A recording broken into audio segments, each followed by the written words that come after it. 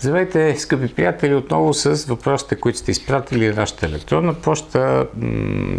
Даниел Димов повдига една много интересна тема и тя е свързана с представянето на Ферари. Като конкретният въпрос е как да си обясним доброто представяне на Ферари в последните две години, на промяната, която беше направена в техния отбор като организация на промяната в правилата. След ужасния сезон 2014 година настъпиха наистина страшно много изменения в, в този екип. И сега резултатите са много по-добри. В огромна степен трябва да отдадем дължимото на новата организация, която успя да въведе Маурицио Арива Бене в екипа, на която в началото мълци навярваха с а, така изграждането на няколко хоризонтални звена, подчинени първо на него, след това на цялата група от, от инженери, които са също с приблизително изравнени възможности на стратегическата група и резултатите дойдоха без да има големи имена, примерно в тази нова структура на, на Ферари.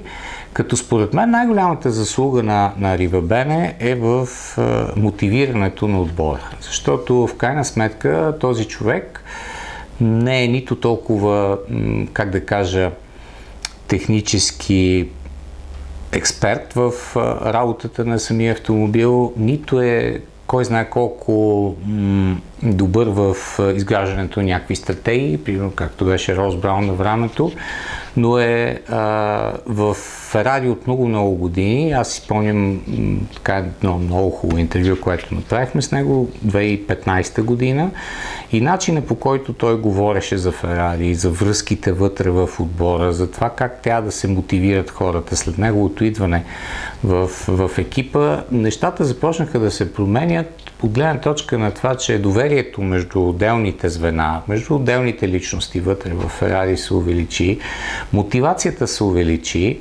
ресурсите, които той успява по един или по друг начин да м- използва много по-добре, идващи от, от големия шеф Серджо Маркионе, просто дават резултат, защото отбора работи по-добре, без вътрешно напрежение.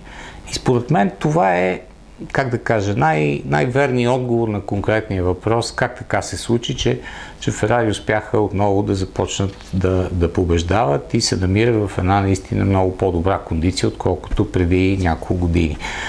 Просто начина на работа на, на Рива Бене, напрежението наистина е много голямо, защото ако те не успеят и Рива Бене и всички останали сега, които ръководят отбора, ще си тръгнат, но в момента те се справят добре и действително с структурата, която той въведе, той измисли в крайна сметка, резултатите са на лице. Така че дори при излизането тук-там на някоя важна фигура, примерно Лоренцо Сас или преди това Дик Дебер, примерно аеродинамика, въпреки това нещата продължават да работят, което значи, че самата структура, самия начин на, на работа на, на отбора дава резултати. Нещо, което е страшно важно, защото сме виждали и виждаме отбори с изключително големи имена, с много големи ресурси, които обаче просто нямат резултати, защото вътре връзките са прекъснати, има липса на отговорност, има един куп елементи, които, които не работят както трябва.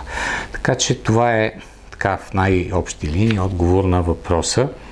Благодаря за него. Ще бъдем отново заедно съвсем скоро.